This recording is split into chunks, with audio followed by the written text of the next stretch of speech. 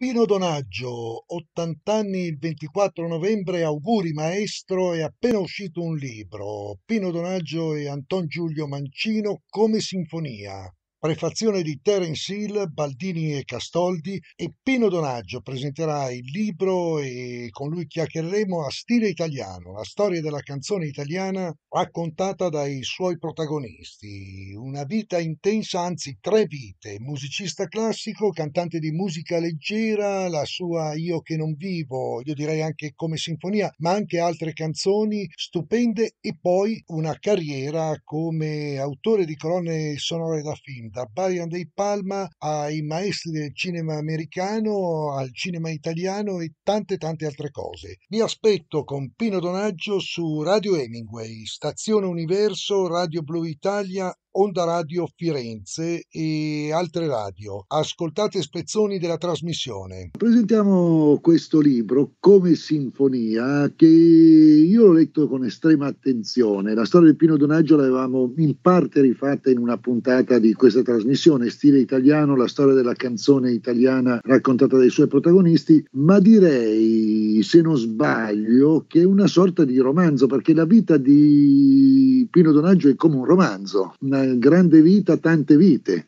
Beh sì, ho cambiato minimo tre volte quello che dovevo fare. Io ero partito per fare il violinista e forse l'ho già detto, e il mio sogno era quello di fare il concertista. Poi per una serie di ragioni ho cominciato a scrivere delle canzoni, poi ho fatto sentire a Mina, Mina doveva fare a Sanremo, lei come sinfonia, invece aveva altre due canzoni, non l'ha fatta e mi sono trovato a cantare io a Sanremo. Poi sono passato al cinema e e anche là per, per una coincidenza, per, se vogliamo, perché io penso al destino, insomma, che dovevo cambiare, dovevo cambiare qualcosa e ogni, vo- e ogni volta mi sono buttato in queste esperienze diverse. La prefazione di Terence Hill, che osa dire di Terence Hill?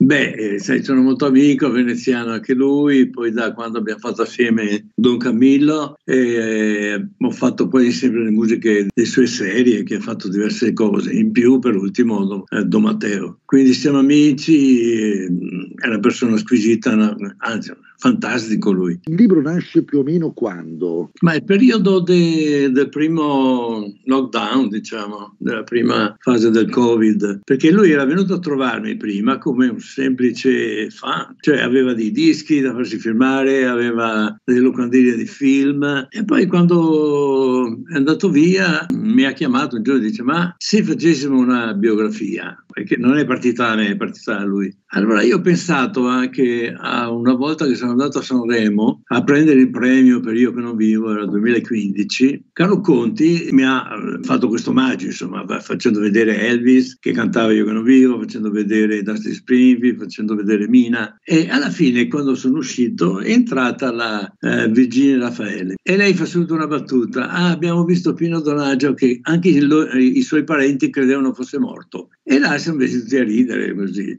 Ma questa battuta, da una dello spettacolo poi, vuol dire che non sapeva niente di me, cioè non sapeva che erano 45 anni che scrivevo per il cinema, tanto in America, in Germania, in Inghilterra, in Italia. Allora dico, ma perché no? Allora faccio la biografia, metto perché ho smesso di cantare, perché ho cominciato il cinema e tutte le cose che ho visto che tanti non sanno. Insomma. 80 milioni di copie vendute nel mondo di Io che non vivo! A 80 mi sono fermato perché c'erano troppi fogli da contare. Troppi, eh? Sì, sì, non so quanto ha fatto alla fine.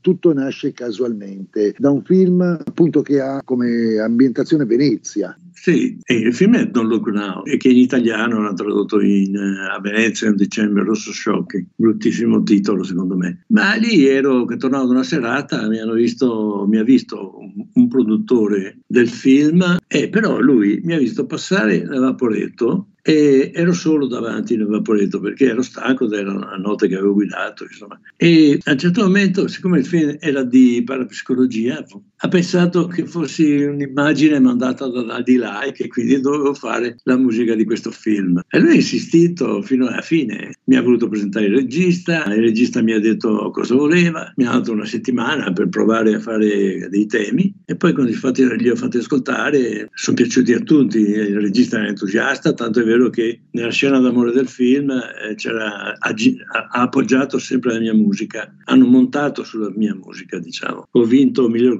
colonna, sonora dell'anno e da lì ho cominciato a pensare di, di lasciare di cantare. Secondo posto era da Paul McCartney con Operazione Tuono, tanto così per dire un'altra, un'altra chicca. E lì ho, ho iniziato e ho continuato. Insomma.